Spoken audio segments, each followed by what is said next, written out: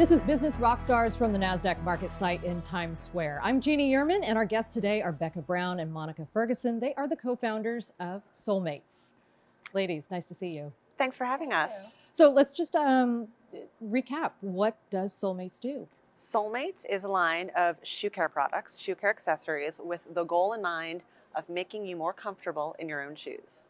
Right. Okay. So, and you guys came up with this idea just out of personal experience, right? You'd be sinking in the grass at some social event. Absolutely. Yeah. Born Yep. out of personal necessity, every product we create solves a unique problem that we as women face, and we will be rolling out some products for men in the near future as well.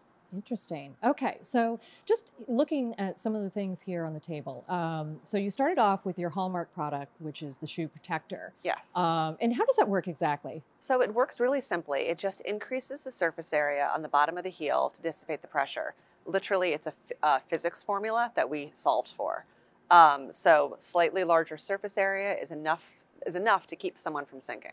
Got it. Okay, and then but now you've expanded. You have other products.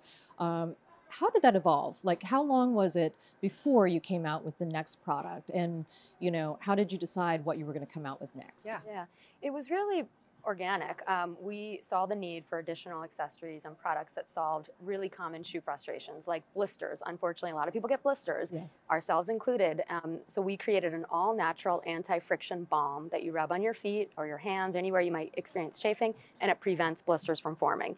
And there are other products that sort of attempt to do that, but ours is totally natural. It's non-greasy, purposely fragrance-free. It's completely non-toxic, and it works incredibly well. Um, and so we saw the need for other problem solvers along those lines, both from our customers off our website as well as our retail customers were constantly asking us, like, what else do you have? What else do you have? So we looked around in the space and started thinking, like, these are all the other areas that we can create natural, non toxic, really effective solutions.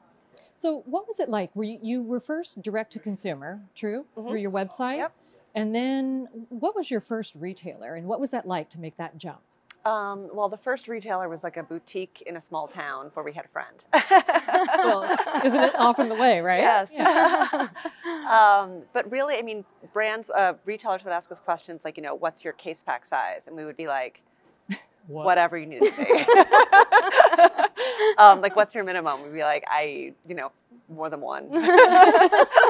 So, and, and we, we were not trying to come across like idiots. We were trying to come across really flexible. Like, we want to make this work. We'll do Yeah. whatever we can to make it work. Mm-hmm. We're not going to put on airs and be like, you know, we need you to be ordering 100,000 units to make this happen. Right. We were very much like, you know, we use domestic manufacturing. We've got short lead times. We want to make this happen. We can change the packaging a little bit if you need it. Like, how, what can we do to make this work? Because ultimately, we want to be in the stores where people are going to buy the product, and people are going to buy the product like again and again and again. And so that leads to a high turn rate, and that's really like the the lifeblood of a retail product. Like, what is their turn rate? Mhm. And so we've always been focused on that. So we have actually have a policy with all of our retailers. If the product is not selling at the targeted rate that you need it to sell, we will take it back at no cost. Interesting. And in the history of our little business, that's happened once. And it was a hat shop in Breckenridge, Colorado, which where, where I suspect there were some other things at play, but we've always offered to take products back because we don't want to be sitting on a shelf collecting dust. Sure. So, turning to the retailers and how you're distributing this, I mean, you guys are in some big chains now, Yeah. and you Yeah. just signed a deal with CVS, right? Yeah. Tell me about uh, Yeah. where you guys sell these products Yeah. and uh, the CVS deal. Yeah, CVS is amazing. Um, we're actually in two areas within the store. One by the register, uh, which is part of a beauty on the go category, and it's our blister blocker and the high heel protectors. And then also in the beauty aisle, in a new category called Fabulous Fashion Extras. So it's all kinds of fashion solutions, head to toe, you name it, there's a solution there, and we're thrilled to be part of that. Um, so it's been great to work with CVS. We're nationwide. Um, we're also in DSW, which is an awesome retailer. We love working with DSW. Um, they just acquired the Camuto Group, which is really exciting. So they're sort of- continuing to own the shoe world. Yeah, we've been really lucky because in like this landscape of retail challenges, brick and mortar challenges, we have found ourselves aligned with really strong retail partners, um, and we feel really lucky for that too. I mean, DSW is just like an awesome company to work with. CVS is an awesome company to work with. We're hopefully going to be rolling out to Ulta. Um, and on the flip side, we have an awesome Amazon business, which you know to which is credited for the retail downturn.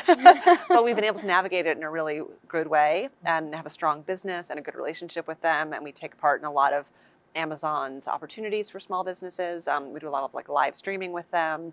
We engage with our customers pretty well on Amazon, which is a big Mhm. challenge because they they almost design it so that you don't engage with your customers too well. Mm. Um, but it's it's been a great experience. Terrific. Well, it's been such a pleasure talking with you guys. It's been Such so much fun to be here. pleasure. Thank you. Wish you the best and much continued success. Thank you.